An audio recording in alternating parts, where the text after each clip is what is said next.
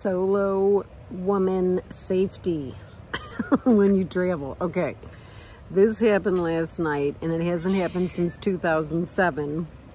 Um, one of the benefits of getting older is you don't get the unwanted attention as much as you did 10 years ago. So here I am in a hot springs. I'll tell you where later and just sitting watching the sunset. This is a family place. This isn't the kind of place that you run around naked like so many of them are. No, you are clothed here in bathing suits.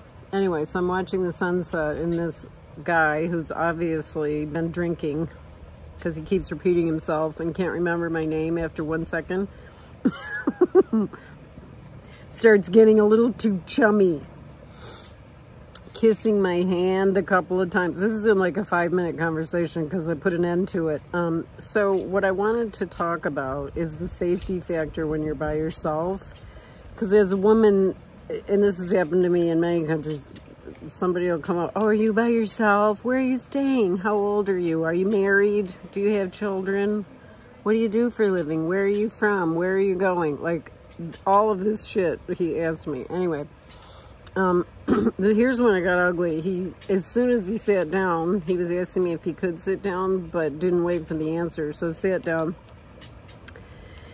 And the thing is, you don't have to have unwanted attention. I figured, well, you know, this is a family place. I'll just talk to him for a few seconds. You know, this is, it's dark. There's not that many people around, but the owner is still here because I can see the light on in the hot tub in the hot springs place. So he asked if I want to drink some beer with him. No.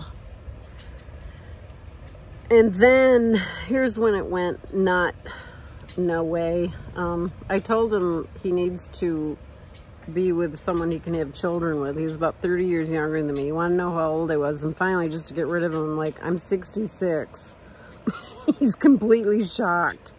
So Children aren't happening at this address. Then he wants my number and starts shoving his phone at me. Okay, so that's really gross. I said no. He wanted to know why. We can be friends, all this crap. Okay, so I'm leaving now. But then I'm like, oh, darn it. You know, my van is right here. I'm camping here and I don't... Okay, here's a precaution. You don't ever want someone to know where you're staying, what you're staying in, that you're alone. So he knew all this. So I'm not too happy about that. So then a few minutes later, he's like, Mary, you want to drink some beer? And he has two beers approaching my van. No.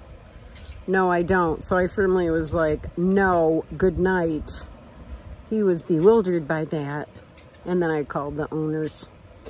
Um, and the owner came over. He happened to be here. But, you know, I actually did get scared. And why I wanted to do this um,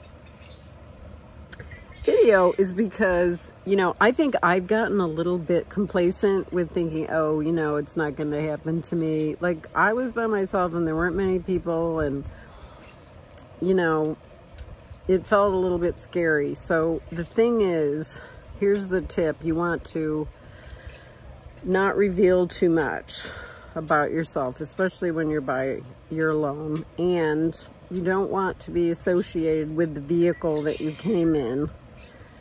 And, um, this guy's coming to this hot springs looking for women. You know, he's not even staying here. I'm camping here. So don't let people know too much. I mean, you can, like, I'm pretty friendly, but he was going over the line. So the safety tip is, as soon as you send something going wrong, either get help, and I'm glad I called because the owner came over, and he's a big guy, and he's like, oh, it's, it's usually safe here. And I said, yeah, it is. I've stayed here before. It's also always safe when you look like a Viking. no kidding, he really does. so he hasn't had any trouble in a long time. See, and the thing about being a woman is it is more vulnerable. So 10 years ago when I uh, was traveling, I got a lot more unwanted attention. And one of the best things about getting older is I don't get as much attention and I'm happy about that because you can kind of slip in and out places and look more like a local and you know, it, it really is better to be older. So,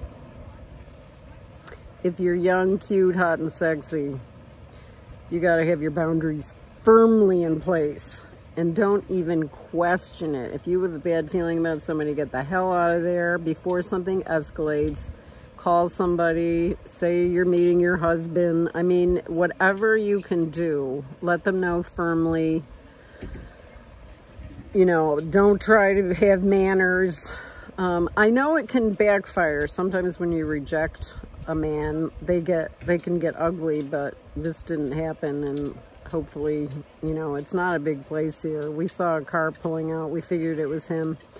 But just to stay safe, um, always trust your gut and get away from situations that you have any feeling of doom about. Okay, so have fun out there.